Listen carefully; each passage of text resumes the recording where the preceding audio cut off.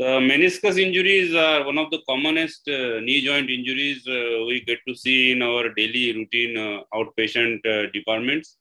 And these injuries are quite uh, painful and uh, sometimes challenging to treat. so the knee, in the knee, the menisci are very important structures and they not only gives the compressive it not doesn't it not only prevent the compressive stresses and protect the cartilage but it also gives stability and uh, nutrition to the knee joint. And it usually get uh, injured in the rotational injuries and sometime in the elderly people uh, the meniscal tears can be degenerative. So as you can see the structure of the meniscus is like a crescent. Recording stop. Recording in progress. is uh, it covers more area of the tibial plateau on the lateral side as compared to the uh, medial meniscus. And there is a circumferential orientation of the fibers which provide the hoop stresses and uh, it, uh, it not only gives stability, it uh, act as a chondroprotective structure.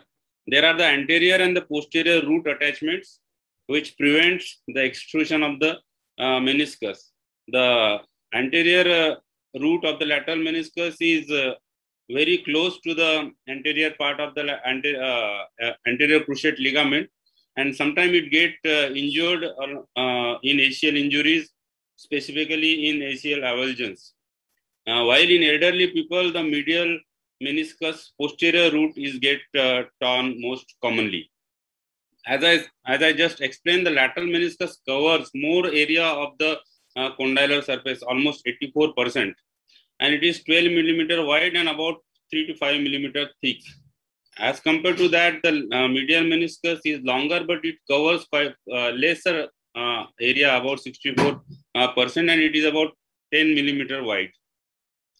So vascularity, as we all know, the only the peripheral part of the meniscus is vascular, and the inner part, which is within the joint, almost inner one third, one half uh, uh, is avascular. But at the birth, almost 50% of the meniscus is completely vascularized from the genicular arteries. And as the age grows, it gradually reduces to just 10 to 25%.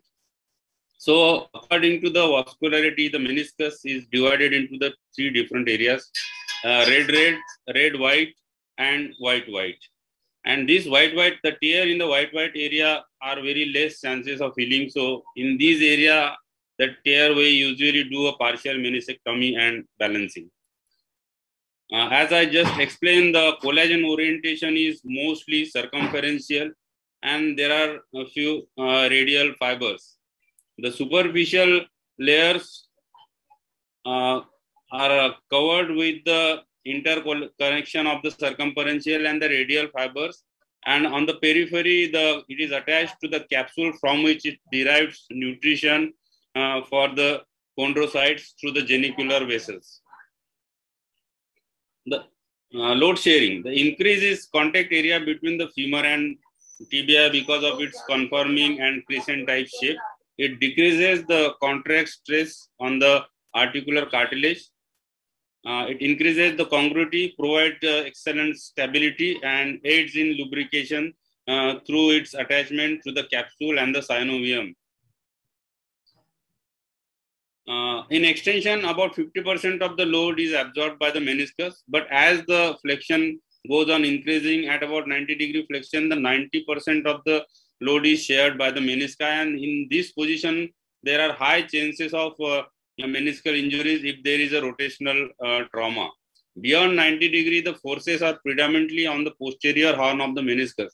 So that's why after the meniscus repair, we don't allow the flexion beyond 90 degree for about two to three months.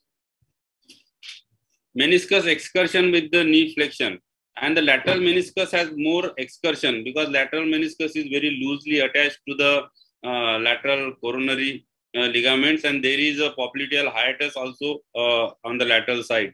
So the lateral meniscus has more um, excursion as compared to the medial meniscus because the medial meniscus is attached tightly to the capsule as well as with the deep uh, MCL and the coronary ligament. So whenever there is a meniscus tear, we always try to preserve the meniscus, and this is, has been the motto since last few years. Because the complete removal of the meniscus increases the contact stresses uh, on the cartilages on the ligament by threefold. Just removing the inner one third, that is the 10% of the uh, uh, 30% of the meniscus can uh, increase the uh, contact stress by about 65%. So the increase in the loss of the tissue increases the contact stress, causes more damage to the cartilage, and this can go on to developing uh, knee joint arthritis. Uh, generally, the patient gives history of the twisting injury in the younger population while playing or fall from the two-wheeler or uh, skipping a step. Sometime in the elderly patient, just squatting or missing the step can cause uh, uh, root tears uh, with just popping sensation. The acute tears are usually in there is an insidious swelling effusion. there will be a pain along the joint line, and if the meniscus is completely torn, like a bucket handle tear or a, a flap uh, like a parrot beak tear, there can be a mechanical complaints like locking and uh, clicking. So this has been covered just now. So initially there what uh, there are the clinical tests. There will be effusion. Most sensitive and specific test will be a joint line tenderness. There will be a joint line tenderness posterior medially for the medial meniscus and about uh, in the middle part of the lateral meniscus if the lateral meniscus is torn. The McMurray test and the Apley's grinding test are the another two tests for uh, uh, diagnosing the meniscal tear. In the uh, this has been just explained uh, on the live demonstration. And if there is a bucket handle tear, the knee get locked in 5 to 10 degree of the flexion. And if uh, the, some rotational movements are done, there will be click and the meniscus will go back and then again the patient can extend his knees. So plain, uh, the investigation, the x-ray will show only OA changes. We cannot uh, see any uh, meniscus pathology on the uh, X-ray. MRI is the gold standard where you can see the uh, all type of meniscal tear, whether it is a horizontal tear, cleavage tear, or radial tear. That can be diagnosed by MRI. So what are the longitudinal vertical tear? The longitudinal vertical tears runs along the course of the meniscus and these are typically traumatic and seen in the younger population and most commonly they are associated with the ACL injuries. The 90% of the uh, longitudinal vertical tears are in the medial meniscus, while 83% are in the lateral meniscus, and most of the time they are associated with the uh, ACL tears. So here you can see the example of the longitudinal vertical tear. Here you can see in the posterior horn of the medial meniscus. In this patient, the ACL was also torn. You have to probe it, then you have to use a spinal needle to actually see it because sometimes we can miss this tear and it can goes on to become a bucket handle tear.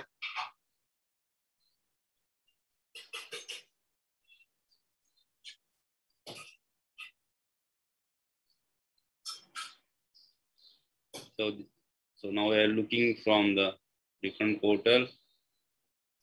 After preparing the tear, this is the zone specific cannulas. We pass the cannula and through over it a needle and a zero number fiber wire. Take another bite.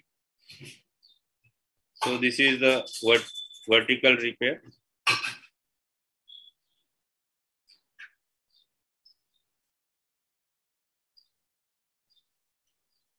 And this is how it gets repaired and we will pass another one or two stitches and it will be over.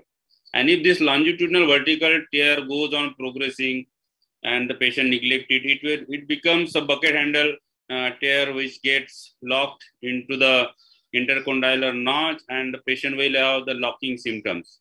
Here you can see a classical bucket handle tear. The meniscus has been locked in the uh, intercondylar notch. To try to reduce it see for the reducibility, check for the double, sometimes there can be a double bucket handle tear or uh, in between uh, there can be a flap tear. So you have to inspect the knee uh, meniscus after reducing it, then prepare it and then start repairing it initially with inside out using a zone specific cannulas and on, on the anterior part outside in technique and the posterior most part we have to use all inside uh, suture repair technique.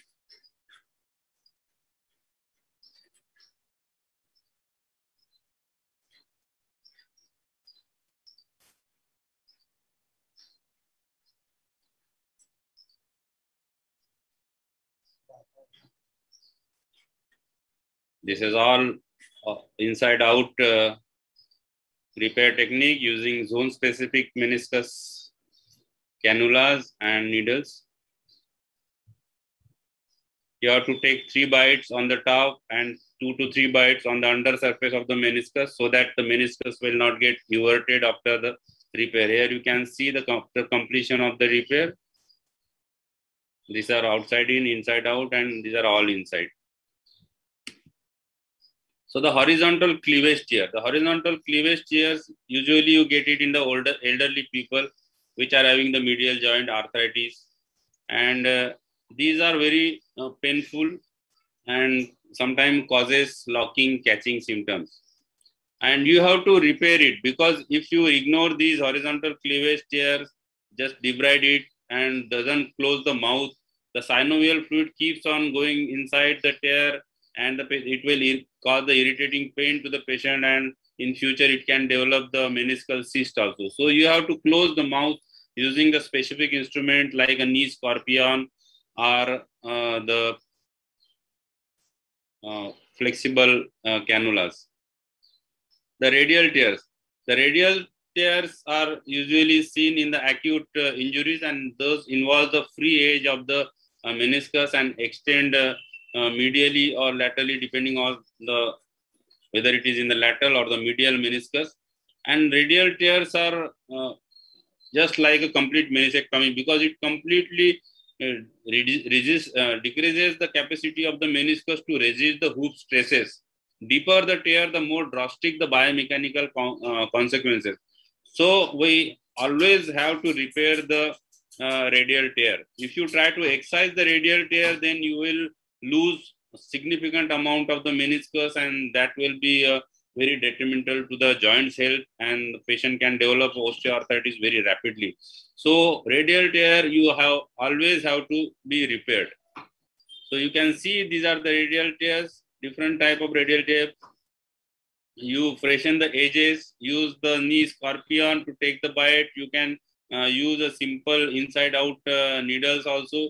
Uh, uh, use a different uh, type of sutures like uh, you can use PDS number one sometime you can use a fiber wires or even if not available you can if, uh, use a 20 Ethibond also but using a different type of the technique you have to repair the radial tears.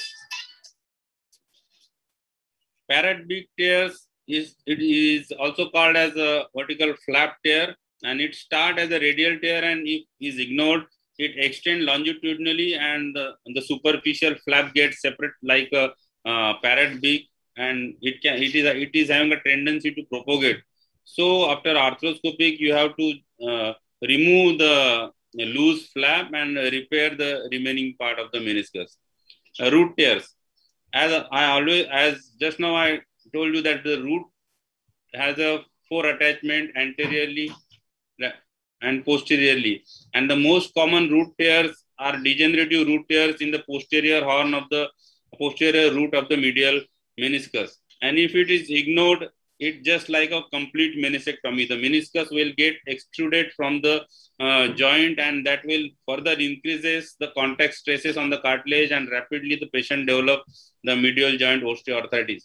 So whenever you diagnose the root tear clinically on MRI, you always try to repair it. And not only repair it try to bring the meniscus in the joint by debriding on the along the peripheral part of the meniscus to uh, loosen the from it from the coronary ligament bring it into the uh, knee joint take uh, holding sutures and then uh, repair the uh, meniscus so that the meniscus will stay within the joint and it will act as a chondroprotective structure.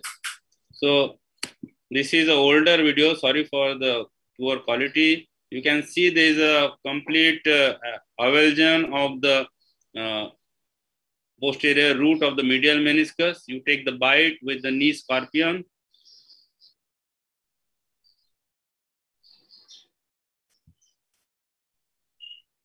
This is the locking loop stitch, which is uh, which is having excellent uh, uh, holding strength.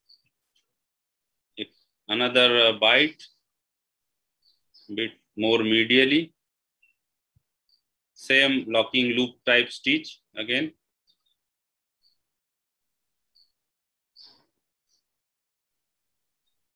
Then make a tunnel at the root attachment with a 4.5 cannulated reamer, pass the suture, and then tie it in over the tibia with the help of a button. You can see the root has been completely stabilized. Meniscectomy. Sometimes you cannot repair all the meniscal tears. Sometimes there are complex tears, there are loose flaps, degenerative tears, and tears in the, only within the white white area. So you cannot always repair the meniscus. So just debriding the uh, peripheral part and giving the meniscus its proper shape can also work in many patients.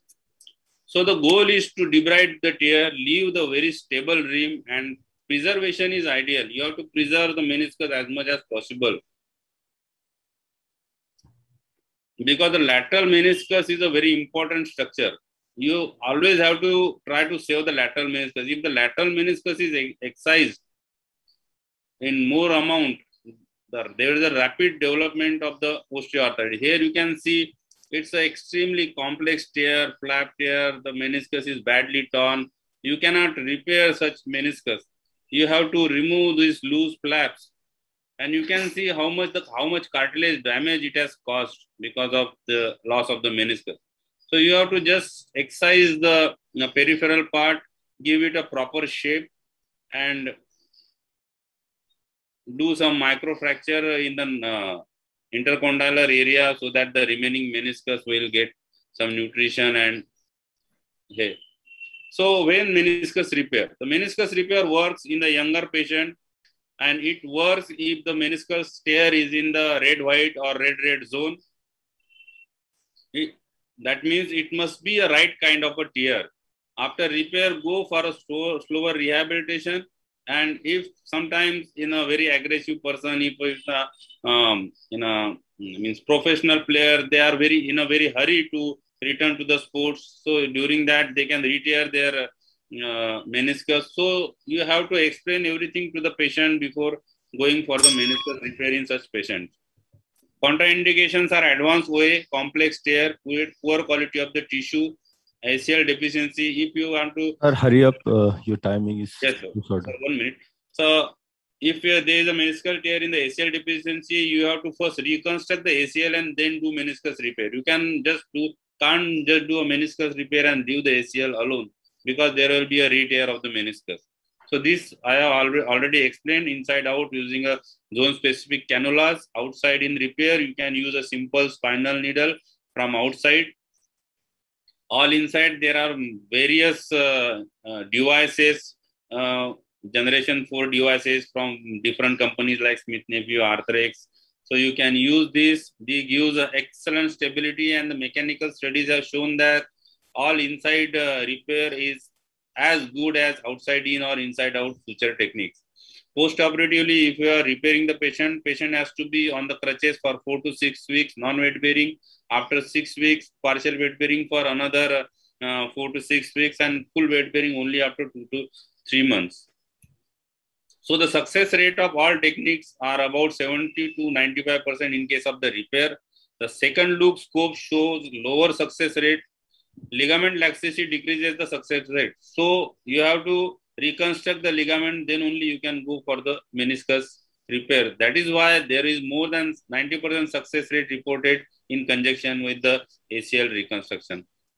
The complication, there can be injuries to the nerve. So whenever you are doing an inside out technique, you take a uh, outside incision, previously protect it with a spoon and then pass the zone specific cannula so that you should not injure the sural nerve or on, on the lateral side the common peroneal nerve.